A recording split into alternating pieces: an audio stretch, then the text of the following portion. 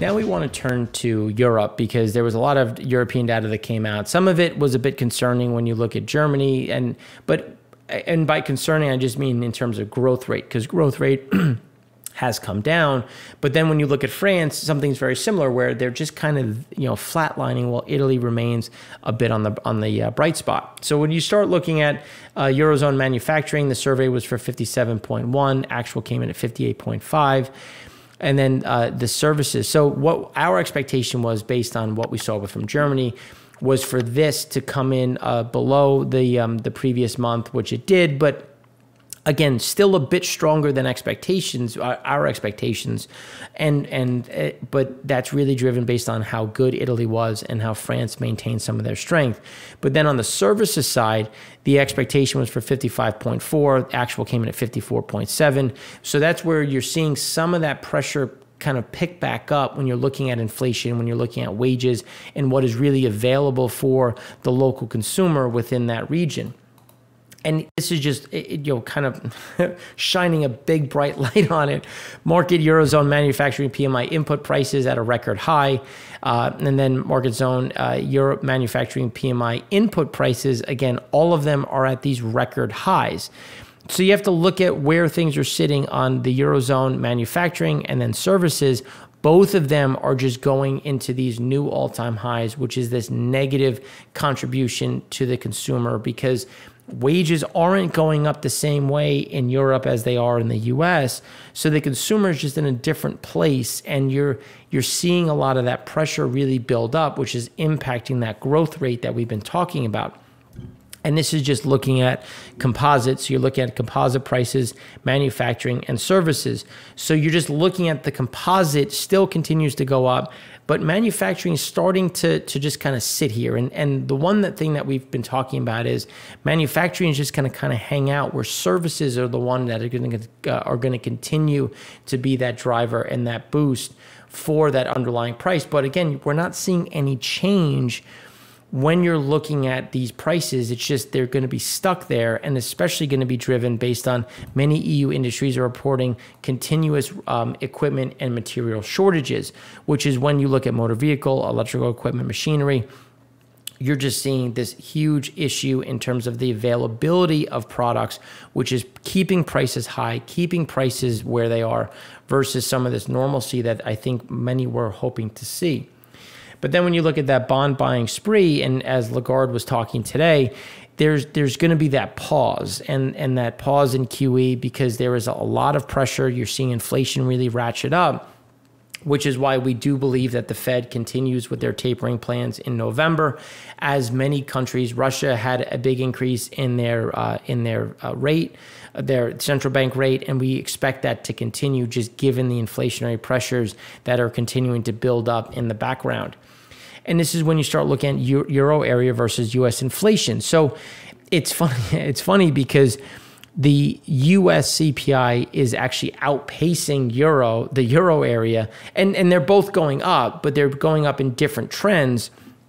But yet the ECB has already talked about uh, and is and is actually rolling out this pause, and the Fed still hasn't. So that's why I do believe that you're going to get that employment continues to get better, uh, GDP growth is still there. So you're not there's no reason to maintain this level especially given the amount of liquidity that remains in the system.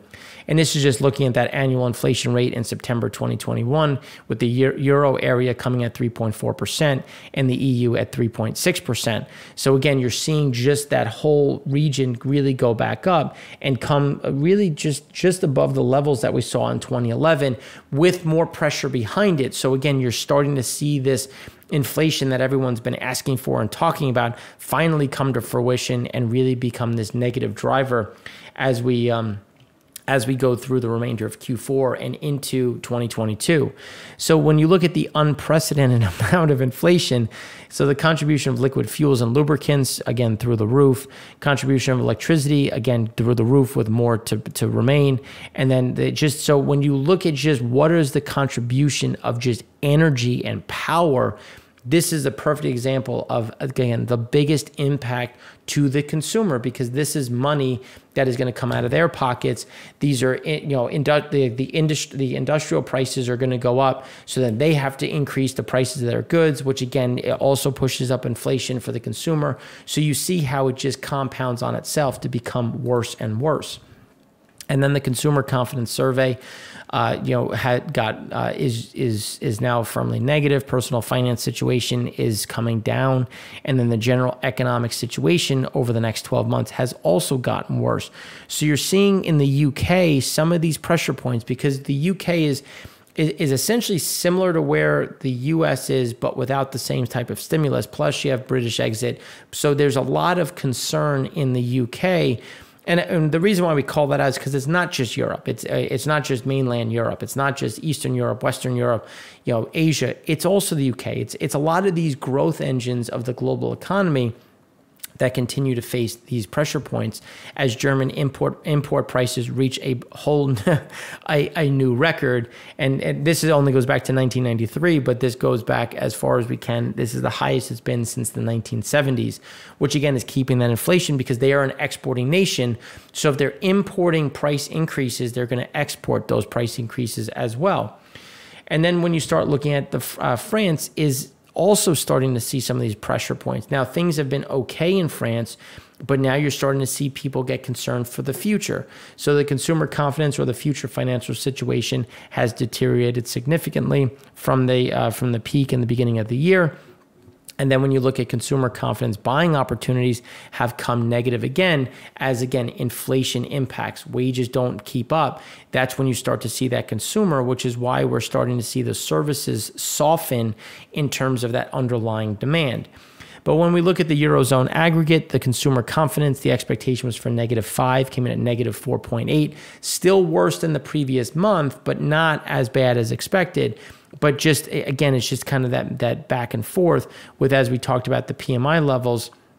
You know, with the uh, with the services disappointing and the manufacturing uh, increasing, but the composite was expected at 55.2, came in at 54.3 because it's weighted towards the services and that's why as services get worse that's going to drag down that whole component as money supply shrunk slightly from uh, from the previous month and that's something that will continue based, especially based on Lagarde's comments. And then when you look at the Eurozone loans to businesses, you're starting to get a little bit of a tick up as loans to households are coming slightly down. So you're starting to get a little bit of a, a you know reopening of the of businesses, starting to get some of this uh, balancing act which is a net positive for longer term growth. We just need to see that accelerate a bit. But given where rates are, where inflation is, and where the consumer sits, as well as their prices going up, you know, businesses are still going to be a bit uh, hesitant to do or invest as much as I think people would hope. Now, when we start, when we flip to Germany, so manufacturing came in above estimates. The expectations were for 56.6 and instead they came in at 58.2. I was expecting a much bigger drop, especially versus prior. Instead, it was essentially in line with prior. But the services, as we were, uh, as and then we thought services was going to be a bit better instead was way worse. and it came in, the expectations were 55.2, came in at 52.4. And then the composite coming it was expected at 54.3, came in at 52. So again, you had a, a fairly sizable slowdown. And I you know, based on what we're seeing, it's going to be uh, these pressure points of you know when does manufacturing come back? It came back a bit more but these inflationary pressures have just exploded. And again that is really hitting the service and consumer sector. So ifo expectations were for 96.6 came in at 95.4 current assessment was expected at 99.4 came in at 10, uh, 100.1 business climate was expected at 98, came in at 97.7. So things are getting slightly worse than prior, kind of moving in the wrong direction. And it's really because import price index was expected at 1.5, came in at 1.3%, still moving in the wrong direction. And then when you look at consumer confidence, though, this is getting a bit better for November, was expected at negative 0.5, came in at 0.9. So again, we do expect that services to find some footing here. So then, when you look at German wage deals, so Germany uh, for global inflationary pressures, as of now, unions are accepting deals significantly worse than originally sought, keeping prospects of wage spiral low. But it also impacts how much they have to spend as inflation goes up.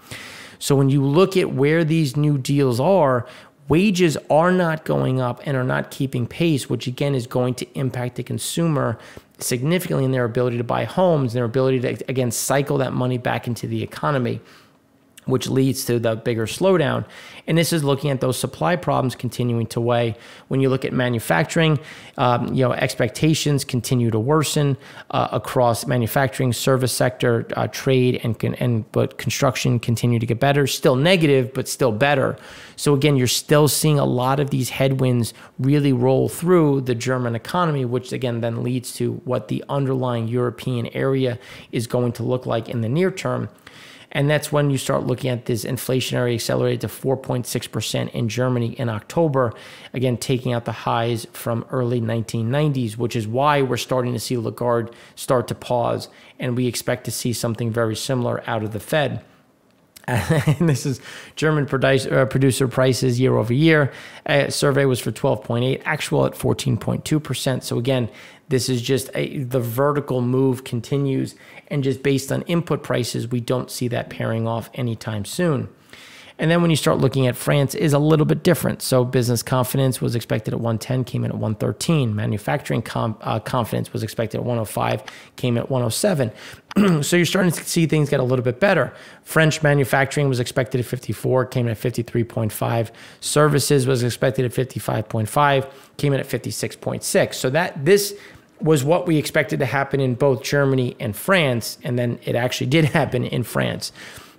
Consumer confidence ticked down slightly from 101 to 99, and uh, and the reason why is when you look at PPI, it uh, it surged to 1.7 percent with PPI year over year at 11.6 percent, up 1.7, almost up almost 1.6 percent. Again, that is a big problem when you start looking at that future, which is why French expectations of the future have worsened in such a way.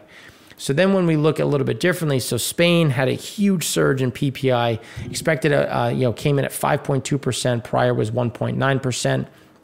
PPI year over year last month was 18%, came in at 23.6%. Again, that, that just uh, it's an all stop on activity with industrial sales in Italy uh, coming in, uh, you know, a bit better than than expectations, but fair, a little bit lower than prior. But again, you're still seeing some of this growth out of Italy, which is this bright spot as you know, um, uh, profitability went up, and you're seeing that consumer act better. Now, uh, uh, Draghi came out and he's talked about cutting taxes, but increasing the age of retirement for pensions, which you know we'll see how if he can get this this um, what's the best way to put it this uh, uh, compromise through the system to try to offset some of that longer term risk to uh, to the balance sheet.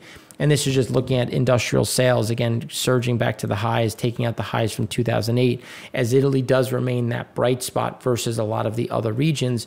Now, on a percentage basis, Italy can't do as much as Germany, but it can offset some of that slowdown, which is what we're starting to see, which is why we don't get, we don't expect this huge revision lower but just you know expectations coming down as Germany continues to struggle, input prices go up, inflation goes up, and you start to see the fiscal stimulus shut down a little bit, but the monetary stimulus stimulus essentially flatline which again is going to is going to impact some of this growth as we go forward.